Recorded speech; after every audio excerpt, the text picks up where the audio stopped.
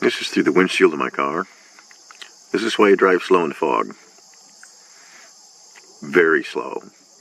Or by fog lights.